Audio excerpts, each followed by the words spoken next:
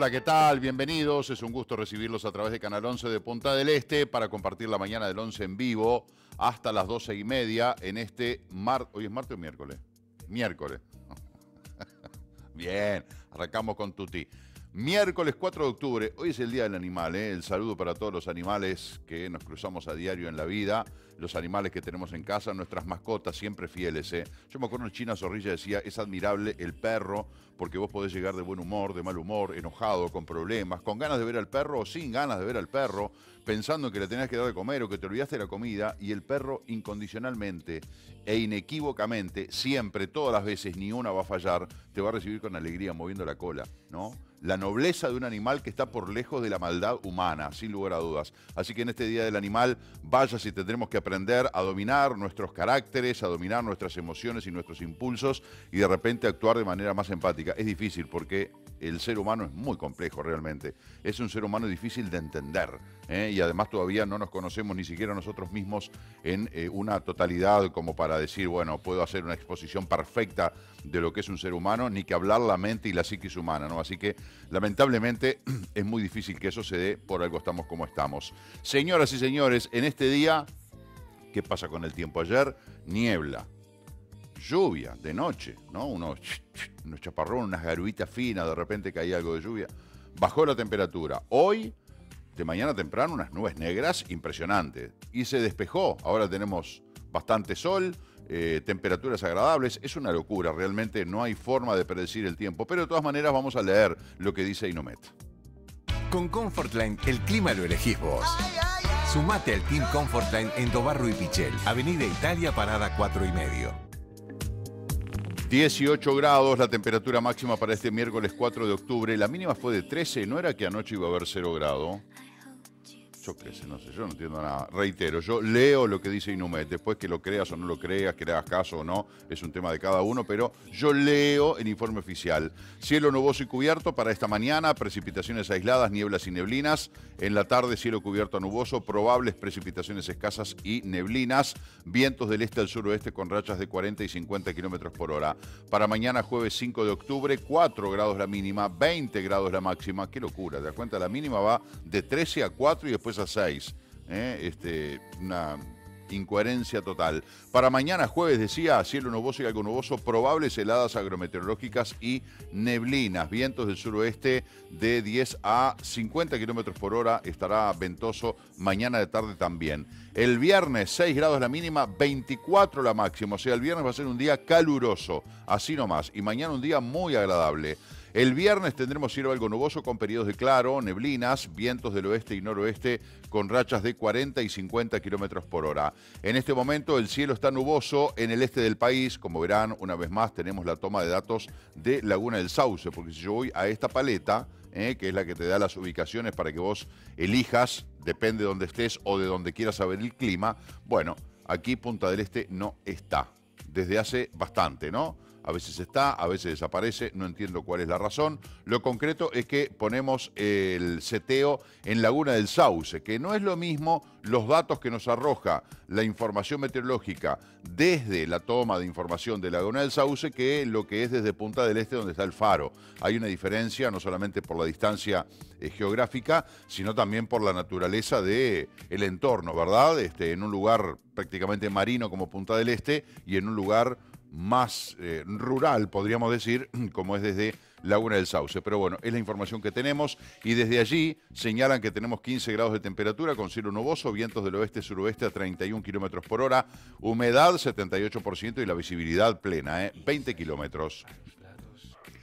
Compartimos titulares, vamos a comenzar por Maldonado Noticias. el 100% de los centros educativos públicos uruguayos cuenta con acceso a Internet de banda ancha. Esto es una gran noticia que de repente no la aquilatamos, pero es que realmente un gran diferencial en la región y una gran herramienta para todos los estudiantes de nuestro país. Uruguay marca un hito en la educación y la conectividad al convertirse en el primer país de América del Sur en lograr que todos sus centros educativos públicos cuenten con acceso a Internet de banda ancha. Bueno, aquí está explicada la gran noticia, ¿no? La celebración tiene lugar hoy a las 13 eh, y 30 horas frente al Liceo Rural de Colonia La Valleja, ubicado a 110 kilómetros. Bueno, será de Colonia Sacramento, no sé.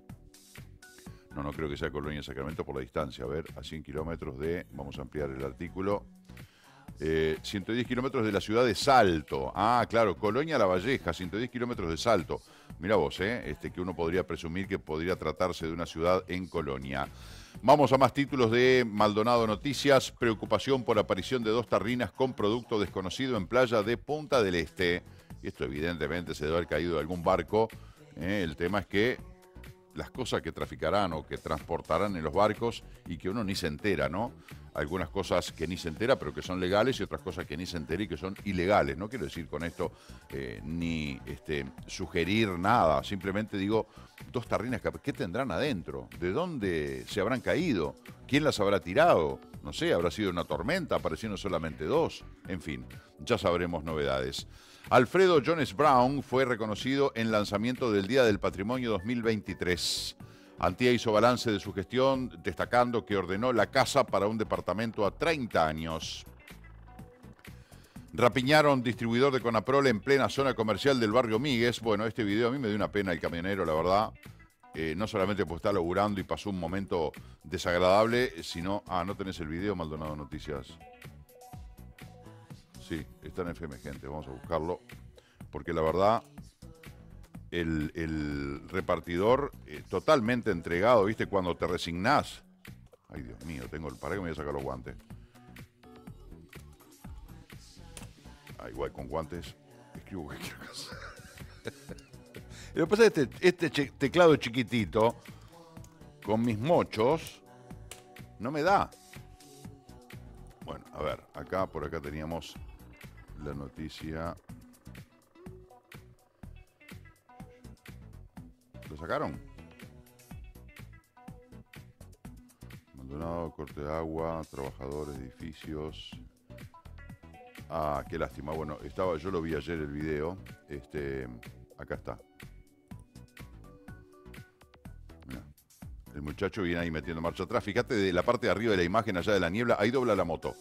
Ahí vienen los pibes en la moto. El camionero de culata, pip, pip, pip, ingresando al depósito del supermercado, ¿no? Metiendo el camión. Ahí paran los pibes, se baja el de rosado así como está, quiere abrir la puerta, no puede, la tiene trancada, le rompe el vidrio, le rompe el vidrio, ahí lo amenaza con el arma y el tipo ahí le da la plata, dame la guita, no, pero dame la guita, le dio la plata y se va.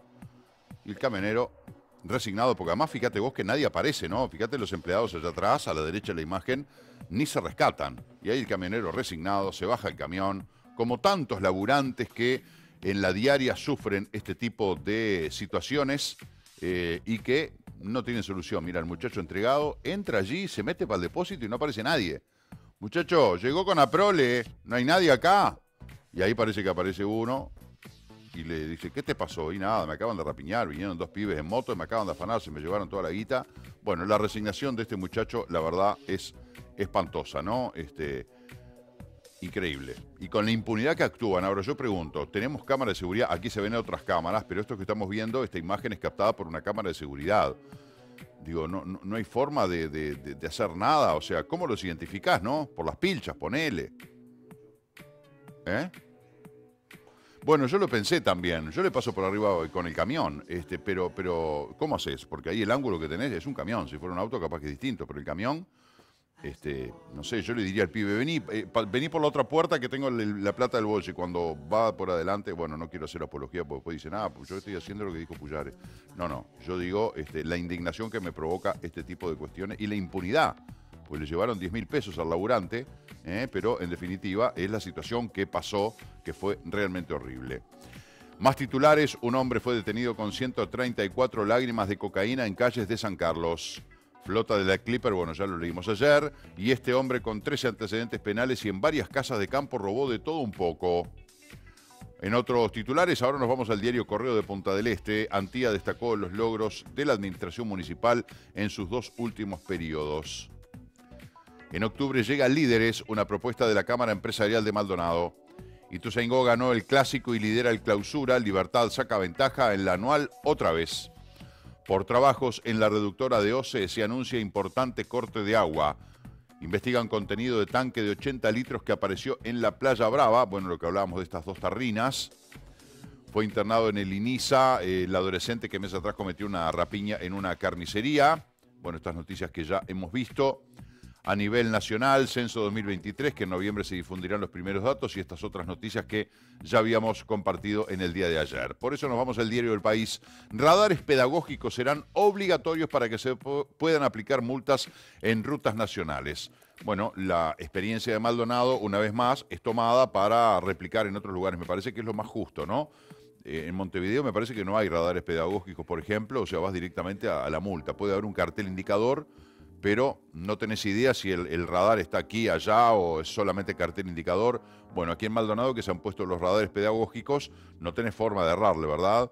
Este, no solamente tenés la cartelería vertical fija, clásica de velocidad, sino que tenés el radar pedagógico que te indica a qué velocidad venís vos. Si venís dentro del rango permitido, aparece el número en verde. Si venís excedido de la velocidad, aparece un número en rojo titilando que te dice peligro, ¿eh? como diciéndote, hey, hey, hey, venís rápido, aflojá que ahí está el radar. Bueno, hay muchos que vienen como taponazo hasta el pedagógico, ahí clavan los frenos, pasan como una doncella y después del radar otra vez aprietan el, acelerador, ¿no? Pero bueno, en fin. Lo concreto es que esto será obligatorio para aplicar multas en rutas nacionales. Diputados piden renuncia de delegación uruguaya en Salto Grande y cese inmediato de contratos discrecionales. Todo esto se desprende de la interpelación ayer a los ministros de Relaciones Exteriores y Economía eh, por el tema de la Comisión Técnico Mixta de Salto Grande consignan que el dirigente K. Martín Insaurralde depositó millones de dólares en Uruguay. Bueno, ahí aparece el pelado del escándalo del último, va, de la última perla del collar escandaloso de la Argentina, eh, junto a su novia Jessica Sirio, una chica que no sé, apareció como modelo, no sé, como bailarina. Pues yo recuerdo en algún momento, creo que estuvo en el programa de Tinelli, pero Jessica Sirio, bueno, y ahora que conduce la Peña de Morphy, que bueno, por efecto dominó de la caída de los conductores por H o por B, bueno, el original, el, gran este, conductor ¿eh? de la Peña de Morphy, ¿eh? que falleció hace unos años y que luego fueron quedando otros conductores. Estuvo este muchacho Jay Mamón, que después de las denuncias tuvo que dar un paso al costado. Pusieron a Jessica Sirio con eh, esta mujer, con Georgina Barbarosa. Bueno, en fin, han tratado de probar este, distintas conducciones, pero bueno, en definitiva esta muchacha resulta que estuvo casada con Martín Isaurralde cuando se divorciaron. Eh, esta muchacha le pidió 50 millones de dólares para divorciarse. ¿Querés divorciarte? Bueno, dame 50 palos verdes. Mirá, y el tipo transó en 20. Ahora inmediatamente cayeron denuncias e investigaciones sobre él y sobre ella. ¿De dónde sacaste la guita para pagarle 20 palos verdes a tu mujer? Y bueno, y tu mujer agarró esa guita, bueno, pero entonces también son cómplices. Hay un tema de joyas, un tema de este, tema de seguros. Bueno, hay una joda ahí impresionante realmente. Eh, Gerardo Rosín, no me acordaba del nombre de el fallecido conductor argentino, excelente conductor y gran tipo, Gerardo Rosín, que fue el primero que condujo la Peña de Morfi. Bueno, en concreto, eh, esa cuenta donde Insaurralde le pagó los 20 palos verdes a Jessica Sirio se abrió acá en Uruguay, ¿no? Y nadie fue a advertir, nadie eh, avisó a la autoridad argentina cuando se iba a hacer el depósito, el giro para Uruguay, y acá tampoco, no sé qué pasó, ¿no? Pero que te hagan un giro de 20 millones de dólares hoy, con las exigencias que hay en las instituciones bancarias, bueno, evidentemente hay mucho para investigar ahí. Así que eh, Uruguay también, por tablas, eh, tiene que ver en este escándalo de Martínez Aurralde, que va mucho más allá de navegar en un yate lujoso, gastando mucho dinero, mientras la Argentina se cae a pedazos, ¿no? Detrás de eso hay un, aparentemente descubren una trama de corrupción, de robo de guita infernal, uno más, eh, que tiene como protagonista a quien fuera el jefe de gabinete de la provincia de Buenos Aires. Inclusive eh, Sergio Massa, además de decir estuvo mal, es un error, se tiene que ir y tiene que renunciar, era candidato a, concejal, este hombre renunció a la candidatura, bajaban los carteles de la publicidad política en Argentina, ¿lo vieron en los edificios con ese gran cartel con la foto de él y su compañero de fórmula? Bueno, cortando las piolas y tirando los carteles abajo. Bueno, este Martín Insaurralde... Eh, a, raíz de su escándalo, Sergio Massa dijo vamos a eliminar la jefatura de gabinete de la provincia de Buenos Aires. O sea, a mí me parece que tiene una cantidad de cargos en, la Argentina, ¿no? Porque hay, es todo muy compartimentado y hay muchísimos cargos ¿eh? este, y obviamente muchos nenes y nenas para todos esos trompos. Pero en definitiva, esa es una de las consecuencias ¿eh? del escándalo de em, Martín Isaurralde. Más titulares, Juan Salgado, vamos a estar absolutamente de acuerdo con la iniciativa del tren Ciudad Vieja El Pinar. Ojalá se pueda concretar, sería un golazo. Además, qué lindo el tren, ¿no? Que vuelve al ferrocarril. Y desde la Ciudad Vieja al Pinar solucionarían un grave problema de locomoción, de movilidad, eh, desde la Ciudad Vieja y hasta el Pinar, que yo digo, eh, desde la Ciudad Vieja hasta Carrasco es la capital del Uruguay, pero desde la Ciudad Vieja hasta el Pinar es todo un dormitorio gigante. Hay mucha gente que vive en Solimar, Shangri-La, Loma de Solimar, Lago Mar y que este, llegan hasta el Pinar que viven en esa zona de la Costa de Oro, pero viaja, eh, trabajan en Montevideo o estudian en Montevideo. La movilidad de un tren va a ser más económica, más segura, más rápida. Está muy buena la idea. Ojalá se pueda instrumentar. Licenciade Finalmente, ¿se acuerdan que eh, habían presentado una solicitud de otorgamiento de título universitario a la UDELAR con la inclusión de los géneros, ¿no? Este, o sea, vos podrás ser licenciado o licenciada. Es lo que conocemos hasta hoy. Bueno, ahora también licenciade fue solicitado.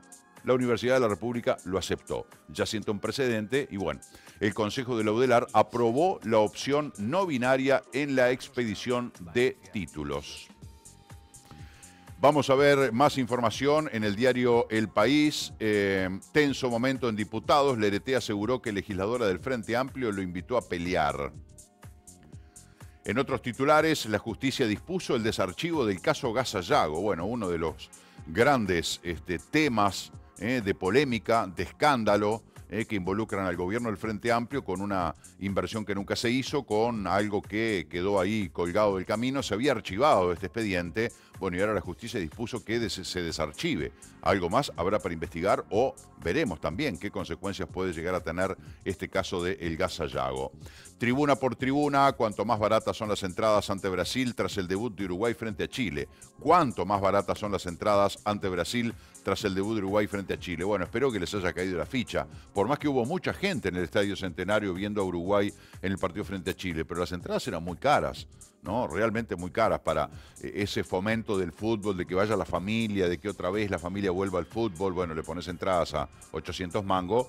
¿Quién se puede gastar 3, 4 mil pesos para ir una hora y media a ver fútbol? Por más que sea la selección, no me da el bolsillo, ¿viste? Espero que para el partido contra Brasil, que es el 17 de octubre, Daniel, ¿eh? ya estuve averiguando con, mis fuentes reservadas. no, estaba mirando ayer un titular. El 17 de octubre es martes. ¿eh? Martes 17 de octubre juega Uruguay con Brasil en el Estadio Centenario. El jueves anterior juega frente a Colombia de visitante.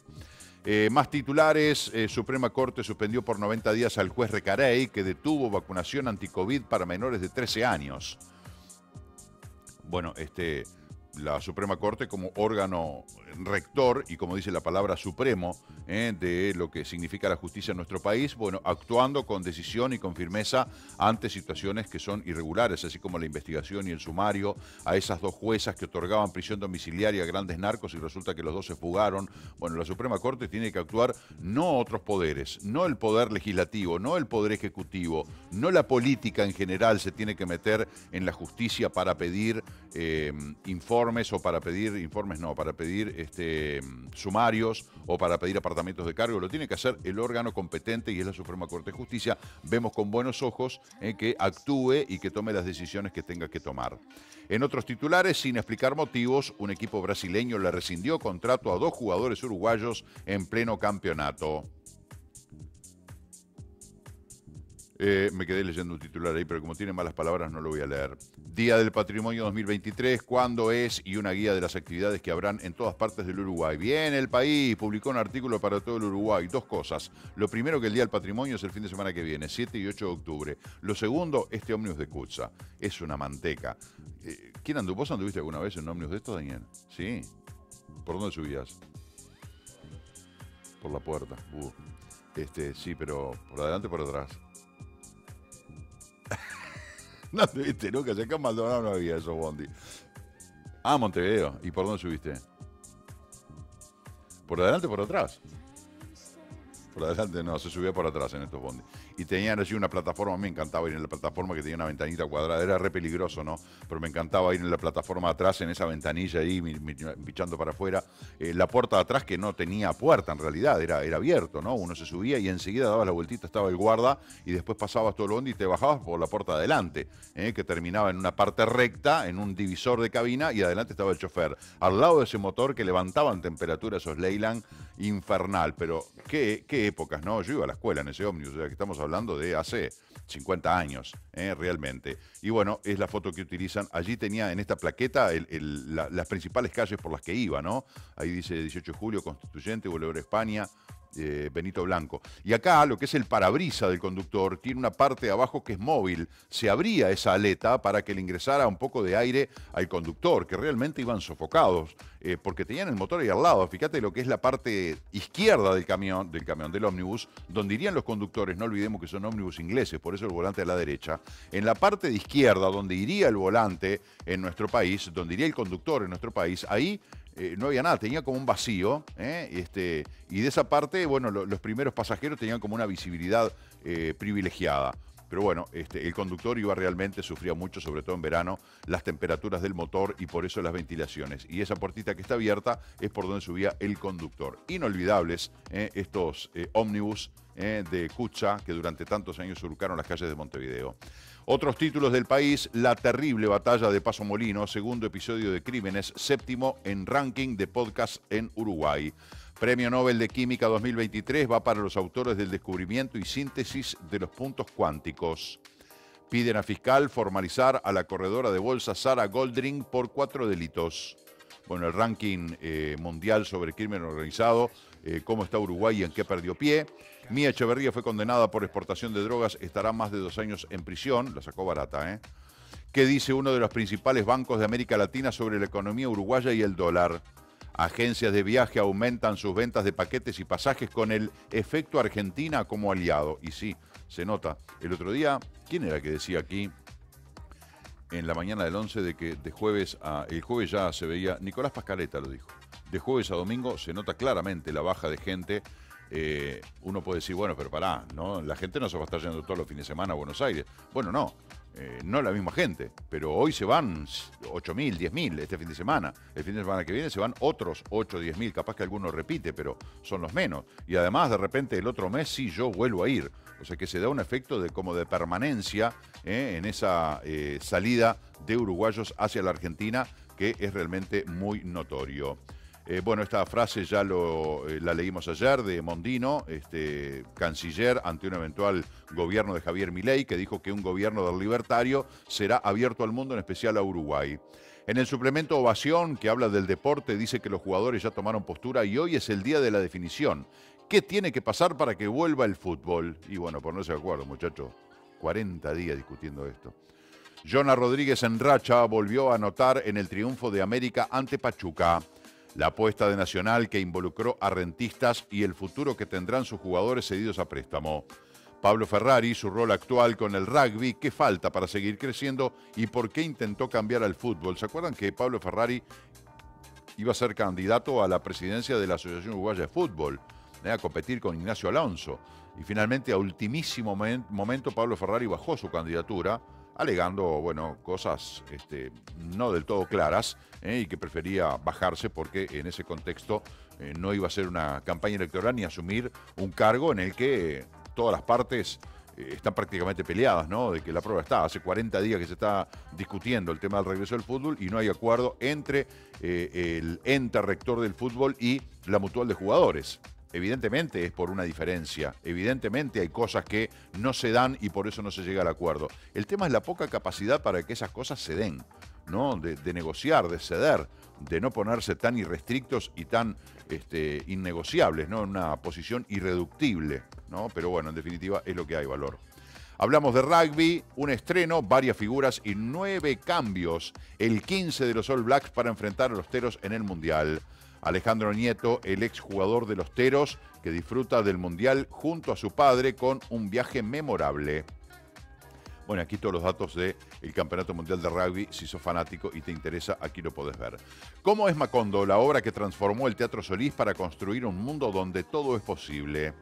Proyecto de ley que regula el mercado inmobiliario tiene vicios claros de inconstitucionalidad, dice un experto bueno, de tanto que se habla de la regulación del mercado inmobiliario, de la ley de corredor inmobiliario, que parecía que venía avanzando, viene avanzando, pero aparece un experto diciendo que tiene vicios claros de inconstitucionalidad. ¿Es el único que lo piensa? ¿Nunca nadie antes dijo eso? ¿Nunca nadie antes vio que este proyecto de ley tiene inconstitucionalidad? Es una mirada de este eh, experto y que no es coincidente con la de ningún otro. O sea, es este hombre que opina eso, pero que en realidad no es. ¿Qué sé yo? Pero aparece alguien a decir, uy, yo soy un experto y esto está viciado de inconstitucionalidad. Bueno, lo menos que puedo hacer es parar la, parar la oreja. Como ciudadano, tener mis dudas, decir, che, ¿no será cierto? ¿No será inconstitucional? ¿Por qué es inconstitucional? ¿Qué parte es inconstitucional? Pero a todos los que están interesados en que este proyecto se lleve adelante, los escuchamos hablar. Yo nunca sentí que ninguno dijera, bueno, este proyecto lo que tiene es que es inconstitucional, salvo este experto. Vamos a ver, capaz que es un gran descubridor y ahora les cae la ficha a todos los demás, ¿no? Móvil en vivo de la mañana del 11, como cada mañana, Laura Fernández y Marcelo Biurron están en vivo para compartir información junto a todos ustedes. Laura, buen día, ¿cómo estás? Adelante.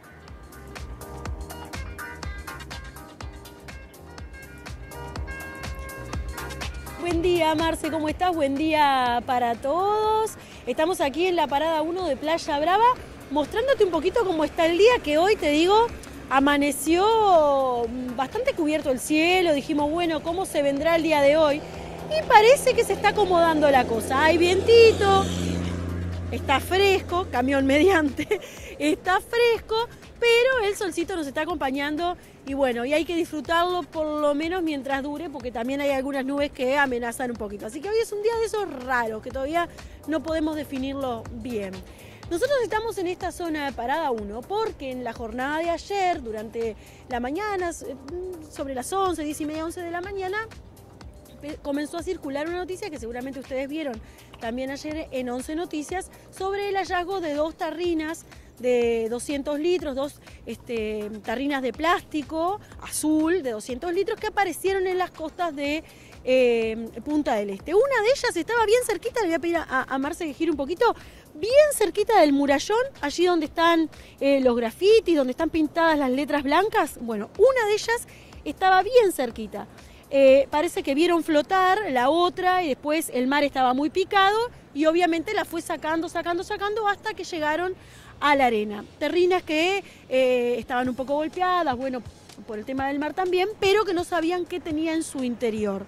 Cada vez que sucede este tipo de cosas, que obviamente no es tan habitual, pero sí hay un protocolo que seguir, se hace la denuncia a prefectura, que es este, quien tiene la autoridad, digamos, en la zona de la costa. Prefectura se comunica con bomberos, bomberos llega hasta el lugar, delimitan la zona para que las personas no se acerquen, no toquen estos, estas terrinas, bueno, porque al no saber qué es lo que hay adentro puede ser peligroso, activan ese protocolo hasta que llegó el camión de bomberos, un camión de bomberos de la dependencia de Montevideo. Este camión vino, retiró ambas terrinas y ayer a la tarde se las llevó a la capital del país donde van a ser analizadas. El problema es que ninguna de ellas tenía identificación, es decir, no tenían ninguna etiqueta, ninguna inscripción, nada que pudiera identificar lo que tenía dentro, ni tampoco su procedencia. Y eso es lo que preocupaba un poquito a las autoridades cuando se acercaron hasta acá y activaron este protocolo por seguridad. Eh, lo que pudimos hablar con la gente de bomberos es que, bueno, sí, se estima que sea algún ácido corrosivo y es por eso que pedían a la gente que no se arrimara y demás, pero que los detalles los van a tener seguramente en los próximos días. También puede haber algún indicio desde qué barco eh, que estaba en la zona del delta puede haber perdido estas terrinas, pero todos son suposiciones que todavía no hay nada confirmado. Lo que podemos decir son... Eh, bueno, suposiciones que puede tener, por ejemplo, bomberos de acuerdo a la experiencia que tiene trabajando en estos temas. Pero no hay nada confirmado, por lo menos hasta los próximos días, cuando venga entonces eh, los documentos desde Montevideo con el análisis del caso. Así que bueno, nosotros queríamos mostrarte un poquito la zona. Si de repente ayer ustedes estaban un poco distraídos y no se enteraron de lo que sucedió, estuvieron en esta zona, vieron seguramente el perímetro bastante amplio que estaba marcado por la gente de bomberos, también participó eh, la Intendencia con personal de tránsito identificando el lugar para que no ocurriera ningún incidente y por supuesto la Armada que es quien interviene en estos casos. Así que era un poquito el resumen de lo que sucedió ayer en esta zona, precisamente de Punta del Este, y que seguramente si ustedes son de la zona vieron el, alboroto, digamos, este protocolo que se armó y quizás este, se preguntaban qué era lo que estaba sucediendo, por eso nosotros queríamos compartirlo con ustedes. Bueno, muy bien, estaremos aguardando a ver qué, es lo que tienen esas famosas tarrinas, ¿no? Está perfecto el protocolo que se eh, cumplió inmediatamente porque ante el desconocimiento y la eventualidad de que pudiera ser algo tóxico, algo dañino para la salud humana, bueno, se tomaron todas estas precauciones y que actúen los que saben, que están entrenados eh, y preparados para este tipo de circunstancias. Eh, mientras Laura hacía la crónica, aquí tirábamos bocadillos de qué podría haber adentro de esas tarrinas, ¿no? Imaginen que dijimos de todo. Eh, capaz que hay dólares, ¿no? Que provienen de la Argentina, qué sé yo. Andás a ver alguno que los guardó en una tarrina, lo agarró una inundación, una crecida, o se vino la cosa complicada y dijo, uy, las voy a descartar. En fin, andás a ver qué hay, de dónde viene, por qué aparecieron acá. Este, porque, bueno, evidentemente porque la sacó el mar, pero que cayeron frente a la costa uruguaya, esto viene navegando, andás a ver de dónde, se cayó de un barco que hacía la ruta Sudáfrica e qué sé yo, no sé. Espero que sepamos algo en los próximos días, simplemente para matar la curiosidad, ¿viste? Vamos a Montevideo Portal, Salto Grande, Frente Amplio y Cabildo aprobaron moción que pide la renuncia de la delegación uruguaya. El diputado y miembro interpelante Nicolás Viera, que es el diputado que aparece allí en la foto, aseguró que el equipo de Cancillería no logró responder ninguna de las preguntas. La actriz uruguaya Mía Echeverría fue condenada a más de dos años de cárcel. La fiscalía reunió suficientes elementos en contra de la mujer que fue detenida cuando quiso sacar del país 7 kilos de cocaína. 7 kilos de cocaína sacándolos por el aeropuerto y dos años de cárcel la sacó regalada. Ahí hubo muy buenos abogados, muy buenos honorarios, no sé, acuerdos, no sé. Pero 7 kilos de cocaína, dos años en la cárcel, no me estarían dando los números. Fiscales se declaran en conflicto y no atenderán a abogados como primera medida. La asociación reclama una serie de puntos, entre ellos que no se apruebe la inhibición a trabajar por tres años luego de retirarse. En otros titulares mataron a balazos a un hombre, lo quemaron y le siguieron disparando mientras ardía. ¿Dónde fue esto? Sí, me estoy tratando, ya me voy. ¿Dónde fue esto? Vamos a verlo. En el departamento de San José. El, el Oxiso había salido recientemente de la cárcel. Qué horrible, ¿no? Este hombre, este, bueno, están sacando muestras de ADN para identificarlo. El fallecido era, bueno, según el medio local, Pablo Fernando González Amestoy, vecino de Playa Pascual, conocido delincuente en la zona, eh, que fuera liberado recientemente del Comcar. Y bueno, salió y le dijeron, ahora vas a pagar lo que hiciste. Vamos a la cotización de las monedas, según la información del Banco República, dólar billete a la compra 38 pesos, a la venta 40 con 40. Mira, subió el dólar, ¿eh? Pasó la barrera de los 40 hacía tiempo que estaba por debajo. El dólar Ibrow 38.50, 39.90, el euro 38.83, 43.52, argentino 003, 025, real 715, 885, unidad indexada 5,784. Primera pausa en la mañana del 11, luego nos visitan las integrantes del programa Meraki de sexualidad. Luego estaremos recibiendo al responsable del Departamento de Investigación y Estadísticas del Ministerio de Turismo. Luego Adriana Caballero de la ONG Amores Perros, hoy es el Día del Animal. Y finalmente de la Asociación de Psicopatología y Psiquiatría de la Infancia y la Adolescencia. Nos estarán eh, hablando sobre el Día Nacional del Bebé, que se celebra desde el año 2009. Yo vi ayer una publicidad, la verdad yo no lo tenía registrado, ¿no? El Día Internacional del Bebé. Así que hablaremos sobre este y otros temas. La pausa y ya venimos.